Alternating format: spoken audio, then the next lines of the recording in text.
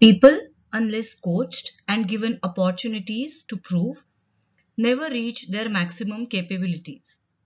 This famous quote comes from Bob Nardelli, an American businessman and the former CEO of Freedom Group, who truly believes that the focus of all aspects of human resource development is on developing a superior workforce so that the organization and its individual employees can accomplish their work goals in service to customers. A very warm welcome to my third session on human resource development. In my last two sessions, we have understood the core concept of human resource development. And in this session, we are going to learn about training and development.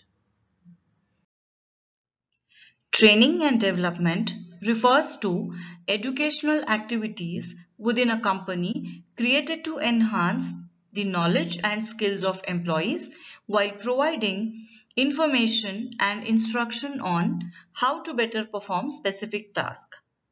The purpose of training and development function is to organize and facilitate learning and development. Help accelerate attainment of the knowledge, skills and abilities required for effective job performance. In this session, we are going to focus on the concept of training and development, its importance in human resource department, well established and implemented methods of training and evaluation of training methods. How these two concepts should be perceived. Training makes employee ready for current job and development makes employee ready for future responsibilities. Let us understand these concepts little more in detail. Training is a short-term process which focuses on a particular job. The target audience is mainly the employees involved in core operations and training objectives revolve around advanced techniques and procedures that need to be taught to employees to incorporate in their daily operations in order to improve the work quality and work efficiency. So in short, training is education, instructions and experience. On the other hand, when we look at the term development, it relates to the long-term process it is an ongoing process of improving, developing an employee professionally in order to take up higher responsibilities, making him future ready. The target audience is managerial level people who are trained on philosophical grounds. So in short, we can say development is directed towards future, career growth and improved performance. Why training and development? Does providing training mean employees are insufficient to perform well in the organization? Well, the answer is no. Is training about making employees company specific and job specific? The answer is definitely yes. Which means that training is the key for successful business. Employees cannot become more productive in every sense of the word unless they are provided with continuous training. Gregory Ballesteros, American industrial engineer and CEO emeritus of the Project Management Studies, has put the definition of training in apt words. So what does training exactly do? Every person has some existing set of skills, knowledge and attitudes. At the same time, organization also requires some set of skills, knowledge and attitudes to be present in the employees. Training bridges the gap between these two and modifies existing set of skills as per the required set of skills. Despite the cost of training for employees, the return on investment is immense. if it is consistent. Therefore, employers initiate different training programs for their employees. Employee training programs help improve the knowledge and skills of employees to match the various changes in the industry. These improvements will positively affect the productivity of workers, which can increase the profits and efficiency of an organization. Some of the things employee may learn through training include work ethics, human relations, and safety. When an organization's employee performance appraisals suggest the need for improvement on a particular subject or skill, training programs can be organized for staff members to help satisfy this requirement. Training can therefore address an identified problem area and work towards a solution. Training programs can also help prepare employees who are moving into higher roles and taking on more responsibilities in an organization. These programs will help them learn the skills that are required to function effectively in their new positions. For example, they may be trained in leadership skills or in a specific software they will use in their new role. Implementing training programs in the workplace will help employees feel like the company is invested in them. By continuing to teach your employees new skills and abilities, they will not just become better workers, they will feel like more productive members of the organization. This will improve their morale as well as their workplace capabilities. So in short, we understood that Training is the need of each organization. Let us now understand how training is implemented. The first step in developing a training program is to identify and assess needs. Employee training needs may already be established in the organization's strategic, human resource or individual development plans. If one is building the training program from scratch, that means without any predetermined objectives, then they need to assess which area to focus on. Performance evaluation can be a best tool to evaluate training needs. The training needs assessment that is organizational task and individual will identify any gaps in your current training initiatives and employee skill sets. These gaps should be analyzed, prioritized and turned into organization's training objectives. The ultimate goal is to bridge the gap between current and desired performance through the development of training program. At the employee level, the training should match the areas of improvement which can be comprehensively identified through feedback and evaluation. The next step is to create a comprehensive action plan that includes learning theories, instructional design, content, materials, and other training elements. Resources and training delivery methods should also be finalized. While developing the program, the level of training and participants' learning style also need to be considered. We now reach to the fourth stage where the actual implementation of training program takes place. The implementation phase is where the training program comes to life Organizations need to decide whether training will be delivered in-house or externally coordinated. The training program is then officially launched, promoted and conducted. During, during training, participant progress should be monitored to ensure that the program is effective. Once the training program is implemented, the evaluation also becomes a mandatory parameter. The training program should be continuously monitored. In the end, the entire program should be evaluated to determine if it was successful and met training objectives. Feedback should be obtained from all the employees to determine program and instructors' effectiveness plus knowledge or skills acquisition. And after a certain time span, employee performance to be evaluated to identify gaps if any. At this point, the training plan can be revised if the training objectives are not met.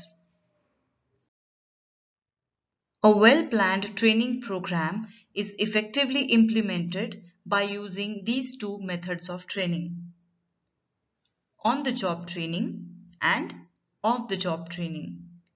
We are going to look at each concept in detail. On-the-job training offers new employees a chance to develop their knowledge of the role through hands-on experience and working closely with existing staff. On-the-job training also an excellent way to introduce the company culture to the new recruits. It accelerates their interaction within the organization and sets in company's values and practices. If executed well, on-the-job training can help to ensure new employees are onboarded successfully and have a lasting positive impact on your company and its reputation. Here are four effective on-the-job training methods. The first one is mentoring. Mentoring is a mutually beneficial training technique in which a more senior staff member provides support and guidance to a new recruit. In addition to technical training and support, mentors also tend to provide emotional advice and support the new employee. Mentoring can promote employee retention and help to develop staff with extraordinary knowledge that extends far beyond their own role and team. The second method is coaching. It is a positive way to train your new staff. It is role specific and seeks to comprehensively train new employees on the duties of their role. It also highlights what is required of them to work efficiently and successfully in the team and wider business. The coach can be manager, subject matter expert, researcher and team member. Coaching is a vital part of on-the-job training as this is conducted on one-on-one -on -one basis. The next method is job rotation. It is the practice of moving a new recruit between different roles in organization. This can help to give them broader experience and train them in variety of skills. This approach helps to improve new recruits' knowledge of the work each team is responsible for on a daily basis. Like mentoring, job rotation can help develop strong ties between staff members from a range of departments, creating a confident and transparent group of employees who are excited about working collaboratively. The fourth method is internship. An internship is a period of work experience offered by an organization for a limited period of time. They are typically undertaken by students and graduates looking to gain relevant skills and experience in a particular field. Off-the-job training is conducted in a location specifically designated for training. It may be near the workplace or away from work at a special training center conducting the training away from the workplace to minimize distractions and allow trainees to develop their full attention to the material being taught. The first of the job training method is classroom session. Classroom method or lecture method is well known to train white collar or managerial level employees in the organization. Under this method, employees are called to the room like that of classroom to give training by trainer in the form of lectures. This method is effectively used for the purpose of teaching administrative aspects or on management subject to make aware of procedures and to give instructions on particular topic. The next method is simulation. The simulation method of training is very famous and core among all the off-the-job training methods. In this simulation, trainee will be trained on a specially designed equipment or a machine seems to be really used in the field or a job. But those equipments or machines are specifically designed for training the trainee where making them ready to handle the real field or job. Third method, vestibule training. This is used for people who deal with machines or tools. Employees learn their job on the equipment they'll be using, but training is conducted away from the actual work floor by bringing equipments or tool to certain place where training is provided. But definitely not a workplace. Next method is case studies.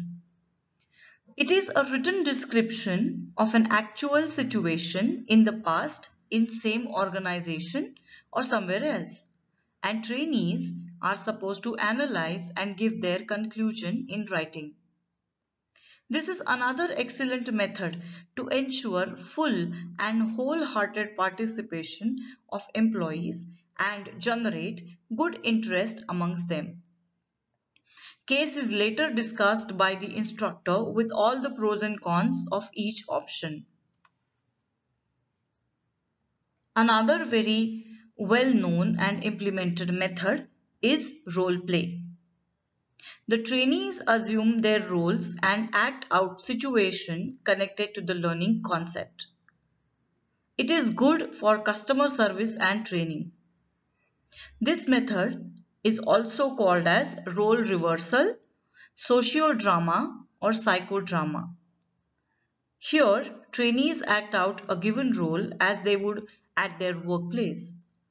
It's mostly a group activity.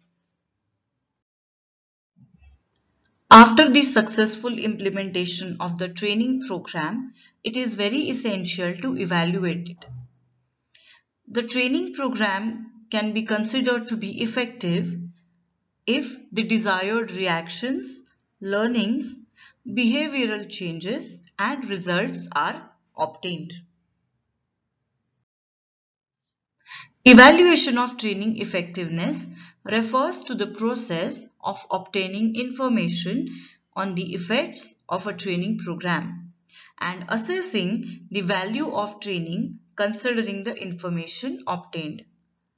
The best tool to understand the effectiveness of the training is feedback from all the employees.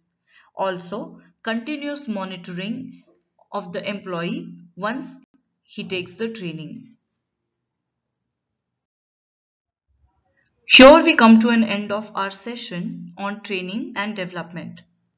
Hope this session helped you understand the concepts in detail. Students to attend quiz and the link for which is given in the description box. Some of the references used by me while making this presentation are mentioned here. Students can also make use of these valuable resources. Thank you so much for watching this video. In case of any query, you can contact me on the email ID mentioned here. Thank you once again. Stay home, stay safe.